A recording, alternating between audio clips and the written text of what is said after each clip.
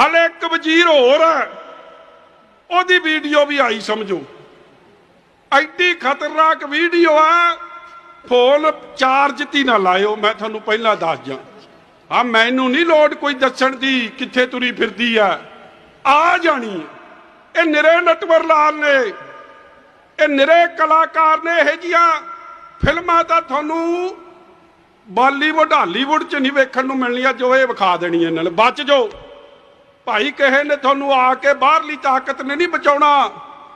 ਪੰਜਾਬ ਦੇ ਲੋਕੋ, ਮੈਂ ਸਮਝਦਾ ਜਿੱਡੀ ਵੱਡਾ ਬੇਇਨਸਾਫੀ ਔਰ ਗੁੱਸਾ ਨਾ ਕਰ ਜਿਓ ਨੌਜਵਾਨੋ। ਇਹ ਬਾਪੂ ਤਾਂ ਫੇਰ ਤੱਕੜੀ ਲੱਭਦਾ ਸੀ। ਬਾਕੀ ਤੁਸੀਂ ਨਹੀਂ ਕਿਸੇ ਨੂੰ ਰਾਹ ਦਿੱਤਾ। ਕਈ ਆਪਣੇ ਨਿਆਣੀ ਵਿੱਚੋਂ ਕਰ ਗਏ ਕਿ ਨਹੀਂ ਆਪਾਂ ਬਦਲਾਵ ਲਿਆਉਣਾ।